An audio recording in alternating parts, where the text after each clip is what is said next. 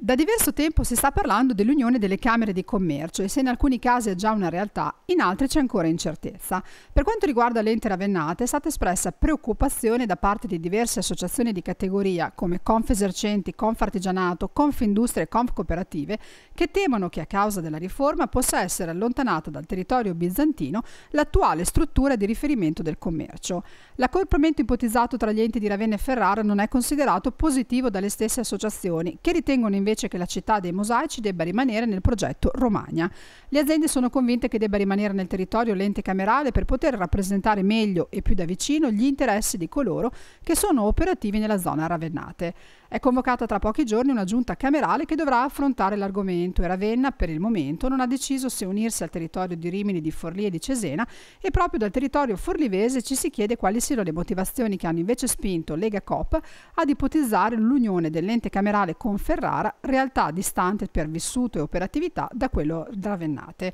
La stessa Camera di Commercio ferrarese in passato aveva espresso parere favorevole per una fusione però con l'Emilia, con Modena o Bologna. Qualche novità dunque potrebbe arrivare già dalla prossima settimana dopo l'incontro Ravennate, andando in accordo con la posizione di Lega Coop, oppure delle associazioni del commercio, oppure una nuova alternativa che possa soddisfare tutti.